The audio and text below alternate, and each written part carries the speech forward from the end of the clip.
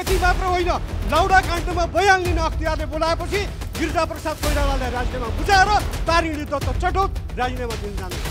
आज सुशासनको भाषण गर्दै हिँड्ने सुशासनको भाषण गरेर नथा नथाक्ने सरकारी जग्गा फिर्ता ल्याए। त्यो सरकारी जग्गा- जग्गाको छानबिन कसको पालामा भएको थियो? ओलीको पालामा होइन। सुरु कसले गरेको थियो? भन्दाखेरि यहाँबाट त्यो मैले फिर्ता ल्याएँ भन्ने सुशासनको भाषण गर्ने भ्रष्टाचार विरोधी भाषण गर्ने तर भ्रष्टाचारमा अख्तियारले बोलाउँदा झन्डा मन्त्रीलाई त्यसलाई भ्रष्टाचारले अख्ति- अख्तियारले बोलायो अब राजीनामा गर्न गर भन्छ भनेर भन्न नसके नैतिक नैतिकताहीन र कार प्रधानमन्त्रीले यो देशलाई भ्रष्टाचार मुक्त बनाउन सक्दैन। सभामुख महोदय त्यसैले त्यसैले म भन्छु आज आजको मितिबाट अख्तियारमा बयान लिएर आइसकेको मन्त्री अहिले पनि क्याबिनेटमा बस्छ। अनि यो क्याबि यो गरे यो भनेको के? यो भनेको त अख्तियार दुरुपयोग अनुसार अनुसन्धान आयोगलाई बयान त्यो यो मन्त्रीलाई फेरि बयान लिन लिन नजा। यो मन्त्रीलाई कारवाही नगर भन्न घट्यो। त्यही दिन प्रकाश ज्वालाले राजीनामा दिएको भए यो एउटा चाहिँ स्थिति एउटा नैतिक देखिन्थ्यो। तर उहाँले राजीनामा दिनु भएन। सभामुख महोदय शेरबहादुर तामाङ तामाङको छोरो। न्याय कानुन मन्त्री हुनुहुन्थ्यो। गल्ती केही होइन। बोल्दाखेरि चुक मात्र भएको शब्द मात्र तलमाथि परेको। तर बोलेको कुरामा विवाद हुनासाथ केपी ओलीको प्रधानमन्त्री कालमा शेरबहादुर तामाङले मन्त्री पदबाट राजीनामा दिएर नैतिकता देखाउनु भयो यति मात्र होइन सभामुख महोदय सबभन्दा गम्भीर कुरा त के छ भन्दाखेरि आजसम्मको नेपालको राजनीतिक इतिहासमा पञ्चायतकालदेखि आजसम्म अख्तियारले बयान लिएपछि कुनै पनि बयान लिन बोलाएपछि कुनै पनि मन्त्री पदमा बस्दैन। झन्डा हल्लाउँदै मन्त्री बयान दिन गएको दुर्दशापूर्ण दृश्य यसै पालि देखियो। तेत्तिस सालमा डाक्टर तुलसीगिरी प्रधानमन्त्री थिए भेषबहादुर थापा अर्थमन्त्री हर्क गुरुङ पर्यटन मन्त्री थिए। र त्यो बेला गणेशा काण्ड खडा गरियो। गणेशा काण्ड कसरी खडा गरियो?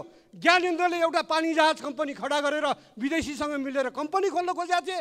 नेपाल सरकारले त्यसमा अरबौँ रुपियाँको जमानी बस्नु पर्थ्यो। यो गर्नुहुन्न भने बापत गणेशा काण्ड खडा गरेर खडा गरेर मलाई हटाइयो भनेर भेषबहादुर थापाले आफ्नो संशोधनमा लेखेका छन्। तर त्यति गर्दाखेरि पनि जब त्यो बेला प्रश्न उठ्यो पत्र पत्रिकामा चर्चा हुन थाल्यो मुद्दा चल्नुभन्दा अगाडि नै तुलसीगिरी भेषबहादुर थापा र पर्यटन मन्त्री पर्यटन मन्त्री रहेका भेषबहादुर थापाले राजीनामा दिए। यहीँ अहिले पनि सांसद हुनुहुन्छ माननीय सर्वेन्द्रनाथ शुक्ला साठी एकसठी सालको कुरा होला। उहाँलाई चाहिँ बयान लिन बोलायो। अदालतले अख्तियारले होइन। रविन्द्रनाथ को रविन्द्रनाथ शर्माको भ्रष्टाचार सम्बन्धी मुद्दामा रविन्द्रनाथले उहाँको तर्फबाट आफूलाई साक्षी राख्नुभएको छ। साक्षीको हैसियतमा रविन्द्रनाथजीको साक्षीको हैसियतमा अदालतमा बयान दिन गएर आएपछि उहाँले पदबाट राजीनामा दिनुभयो। यही हो नजिर। पञ्चायतकालको नजिर हेर्नुहोस् बहुदल कालको नजिर हेर्नुहोस् त्यति मात्र होइन। लौडा काण्डमा बयान लिन अख्तियारले बोलाएपछि गिरिजा प्रसाद कोइरालालाई राजीनामा बुझाएर तारिणी दत्त चटौत राजीनामा दिन जानुभयो। आज सुशासनको भाषण गर्दै हिँड्ने सुशासनको भाषण गरेर नथा नथाक्ने सरकारी जग्गा फिर्ता ल्याए हँ? त्यो सरकारी जग्गा- जग्गाको छानबिन कसको पालामा भएको थियो? ओलीको पालामा होइन। सुरु कसले गरेको थियो? भन्दाखेरि यहाँबाट त्यो मैले फिर्ता ल्याएँ भन्ने सुशासनको भाषण गर्ने भ्रष्टाचार विरोधी भाषण गर्ने तर भ्रष्टाचारमा अख्तियारले बोलाउँदा झन्डा मन्त्रीलाई तिमीलाई भ्रष्टाचारले अखि अख्तियारले बोलायो अब राजीनामा गर्न गर भन्न भनेर भन्न नसके नैतिक नैतिकताहीन र कार प्रधानमन्त्रीले यो देशलाई भ्रष्टाचार मुक्त बनाउन सक्दैन। सभामुख महोदय त्यसैले त्यसैले म भन्छु आज आजको मितिबाट अख्तियारमा बयान लिएर आइसकेको मन्त्री अहिले पनि क्याबिनेटमा बस्छ। अनि यो क्याबि यो गर यो भनेको के? यो भनेको त अख्तियार दुरुपयोग अनुसार अनुसन्धान आयोगलाई बयान त्यो यो मन्त्रीलाई फेरि बयान लिन लिन नजा। यो मन्त्रीलाई कारवाही नगर भनेर अख्तियारलाई बयान दिएको हो सरकारले। कार्यपालिकाले अख्तियारलाई बयान दिएको हो। त्यसैले अविलम्ब अविलम्ब यी विवादमा परेका नम्बर एकमा स्वास्थ्य मन्त्रीको राजीनामा उहाँ त कुनै पनि हालतमा बस्नु हुँदैन। नैतिकता छ भने प्रधानमन्त्रीले जवाब दिनुहोस् अरू दुईजना मन्त्रीलाई हटाउनुपर्छ। जसले लार्काललाई नियुक्त गर्यो जो जो बा बालकुमारीको घटनामा एउटा कारण बन्द पुग्नुभयो। त्यो लापरवाही हो। उहाँले भन्नु होला मेरो गल्ती छैन भनेर। त्यो लापरवाही हो। त्यसैले सभामुख महोदय यो भ्रष्टाचारको गफ दिने होइन। भ्रष्टाचार गर्ने नगर्ने कुरा व्यवहारमा कायम गरेर देखाउने हो कार्यान्वयन गरेर देखाउने हो। त्यसैले प्रधानमन्त्री भ्रष्टाचार निर्मूल गर्छु भ्रष्टाचार नियन्त्रण गर्छु भ्रष्टाचार हटाउँछु भनेर उहाँले यहाँ आएर संसदमा भाषण गर्दैमा कसैले पत्याउँदैन। उहाँले आफ्नो व्यवहारले देखाउनु पर्यो। लारकाल नियुक्त गर्ने। गजब रहेछ त्यो लारकाल पनि। शक्तिशाली रहेछ। नियुक्ति मात्र लिएन। अवैधानिक कार्यक्रममा प्रधानमन्त्रीलाई उपस्थित गराउने। प्रधानमन्त्रीको सचिवालय प्रधानमन्त्रीको कार्यालयमा पदाधिकारीहरू त होलान्। के हेरेर बसेको थियो त्यो कार्यक्रम नैतिक थियो कि अनैतिक थियो भनेर त्यो कानुनी छ कि कहिले कानुनी छ भनेर हेर्नु पर्दैन। यस्तो अवस्थामा अनि प्रशासन यन्त्रमा भ्रष्टाचार कसरी नियन्त्रण हुन्छ? भ्रष्टाचार जहाँ तहाँ। र भ्रष्टाचारलाई संरक्षण स्वयं प्रधानमन्त्रीले गरिराख्ने भ्रष्टाचारी मन्त्रीलाई क्याबिनेटमा झन्डा हल्लाउँदै दिने अनि भ्रष्टाचारको भाषण गर्ने कसले पत्याउँछ?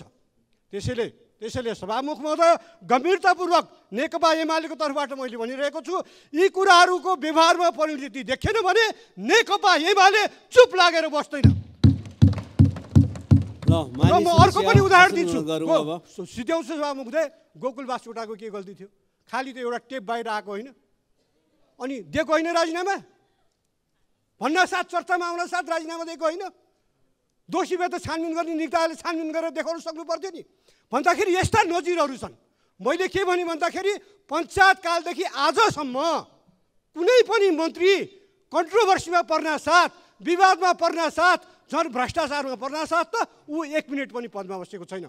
अख्तियारले मुद्दा चलाउँछ भनेपछि अख्तियारले बोलायो भनेपछि अख्तियारले छानबिन गर्दैछ भनेपछि अख्तियारले बोलाउनुभन्दा अगाडि राजीनामा दिएको नजिरहरू छन् हाम्रो देशमा। अनि गफ लगाउने। के यस्तै तरिकाले गणतन्त्र बलियो हुन्छ? गणतन्त्र कमजोर भयो भनेर नक्कली आँसु बगाउने गणतन्त्र बलियो बनाउने काम चाहिँ नगर्ने। अनि गणतन्त्रको नाममा आफ्नो सत्ता टिकाइराख्ने कुरा मात्र जनतालाई प्रिय हुन्छ स्वीकार्य हुन्छ हामीलाई स्वीकार्य हुँदैन। सक्नुहुन्छ? कारवाही गरेर देखाउनुहोस् त। नत्र भने आज नेकपा एमालेको तर्फबाट अत्यन्त गम्भीरताका साथ भनेको छु यस्तो भ्रष्टाचारका घटनाहरूलाई यस्ता चाहिँ विवादास्पद मन्त्री भएका क्याबिनेटको गतिविधिलाई नेकपा एमाले टुलु टुलु हेरेर बस्दैन। धन्यवाद। अब मान्य सदस्य श्री विराज भक्त श्रेष्ठ संक्षिप्तमा आफ्नो कुराहरू राख्नुहोस्। सामान्य सभामुख महोदय बालकुमारी घटना जे जसरी भयो त्यो हुँदाखेरि देश नै स्तब्ध भएको थियो। अनि हामीलाई समेत पनि मलाई व्यक्तिगत तर्फ तरिकाले पनि दुई दिनसम्म एकदमै न्यास्रो लाग्थ्यो देशमा के भयो भनेर होइन। राज्यको सम्पत्ति पनि गएको दुई होनहार युवाको हत्या पनि भएको। अस्ति भर्खरको संसदमा हाम्रो दलबाट हाम्रो दलको नेताले त्यो कुरा उठाइसकेपछि प्रधानमन्त्रीले राम्रै जवाफ दिनुभयो। हामीले शङ्काको सुविधा दिएर प्रधानमन्त्रीले प्रतिवेदन पढ्नुहुन्छ र केही कारवाही गर्नुहुन्छ भन्ने अपेक्षा गरे अहिलेसम्म केही पनि भएको छैन। त्यो प्रतिवेदनको उहाँको अध्ययन कहाँ पुग्यो? तिन दिन भइसक्यो सभामुख महोदय। त्यो प्रतिवेदन के भयो? सभामुख महोदय यो दण्डहीनताको पराकाष्ठ हो। मैले के मात्र निवेदन गर्न खोजेँ भन्दा संसदप्रति नै सरकार जवाफदेही हुँदैन भएदेखि मुलुकले कस्तो नेतृत्व पाइरहेको छ? सभामुख महोदय अब ती दुई युवालाई युवा युवाको परिवारलाई सरकारले के दियो होइन दस लाख दियो भन्दाखेरि प्रधानमन्त्रीको जवाफ जवाफमा हामीले के अपेक्षा गरेका थियौँ भन्दाखेरि अब उसको परिवारलाई पनि हेरिन्छ हामीले शङ्काका सुविधा दियौँ। तर त्यो प्रतिवेदन पढ्न कति लामो प्रतिवेदन हो त्यो? पढ्नलाई गाह्रो छ भए हामीलाई ल्याइदिनु हामी वाचन गरेर सुनाइदिन्छौँ म सभामुख महोदय मार्फत सरकारलाई चेतावनी पनि दिन चाहन्छु। यसरी प्रतिपक्षलाई नसुन्दै जाने हो भएदेखि संसद अवरुद्ध पनि हुन्छ आन्दोलन पनि हुन्छ महोदय। तर सरकारले भोलि हामीलाई के दोष दिन पाउँदैन भन्दा प्रतिपक्षले सदन चल्न दिएन भनेर हामी प्रतिपक्षको नेपथ्यबाट जनताको पीडा जनता स्तब्ध भएको कुरा राखिराख्दाखेरि सरकारले अनसुना गर्छ भएदेखि संसद मात्र होइन सडक पनि अवरुद्ध हुन्छ सभामुख महोदय। दोस्रो कुरा मिटर ब्याजीको कुरा। माओवादीको सरकारले मिटर ब्याजी सामन्तवादको अवशेषको अन्त्य भयो भनेर मिटर ब्याजीको कुरा गरेको थियो। आज मिटर ब्याजीहरू प्रदर्शन पनि गर्न नपाएर माइती घर वरिपरि भौँता